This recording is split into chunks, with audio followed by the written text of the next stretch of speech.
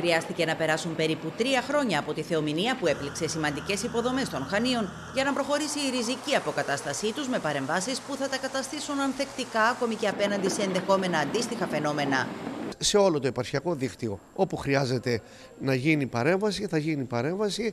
Όπου χρειάζεται να ετοιμαστεί μια μελέτη, που ενδεχομένως δεν υπάρχει σε αυτό το σχεδιασμό, να την προετοιμάσουμε. Αλλά είναι για όλο το επαρχιακό δίκτυο της Περιφερειακής Ενότητας Χανίων. Αλλά η καθυστέρηση κυρίως οφείλεται ότι χρειάζονταν μελέτες σε πολλά από αυτά και γεωτεχνική έρευνα. Ολοκληρώθηκαν λοιπόν αυτά, εγκρίθηκαν τις υπηρεσίες και έγινε δημοπράτηση. Μεγάλες τομές αφορούν στο επαρχιακό δίκτυο των Σφακίων και του Ανατολικού Σελήνου, ενώ η τρίτη εργολαβία περιλαμβάνει παρεμβάσεις σε επικίνδυνα σημεία. Όσον αφορά PCV, γέφυρα πηγαίνοντας για παλιόχωρα, το ξέρουμε όλοι, και μια, ένα νέο κυβότιο το οποίο θα γίνει στο δρόμο Δασκαλιάνα Παλιά Ρούματα.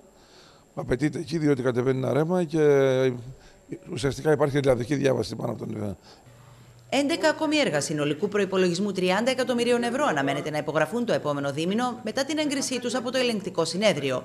Για τη διευκόλυνση των τεχνικών υπηρεσιών κατά τη διαδικασία εκτέλεσης των έργων, υπεγράφει η σύμβαση με τον Αναπτυξιακό Οργανισμό Δέδαλος, προκειμένου να ενισχυθεί η Περιφερειακή Ενότητα Χανίων με 15 μηχανικούς γιατί αντιλαμβάνεστε ότι δεν γίνεται μόνο με το υπάρχον προσωπικό να μπορούμε να κάνουμε αυτά τα έργα γιατί προετοιμάζεται ακόμα μια νέα γενιά έργων για οδική ασφάλεια στο επαρχιακό δίκτυο, η συνεργασία με τους Δήμους που υποστηρίζουμε Δήμους για να κάνουν τα έργα. Ο αναπτυξιακός οργανισμός από την πρώτη στιγμή έθεσε σαν κεντρικό του στόχο την στήριξη στην προσπάθεια των οργανισμών τοπικής αυτοδιοίκησης για ανάπτυξη και επίλυση αρκετών προβλημάτων των οποίων υπάρχουν με την υποστελέχωση που ξέρουμε ότι υπάρχει.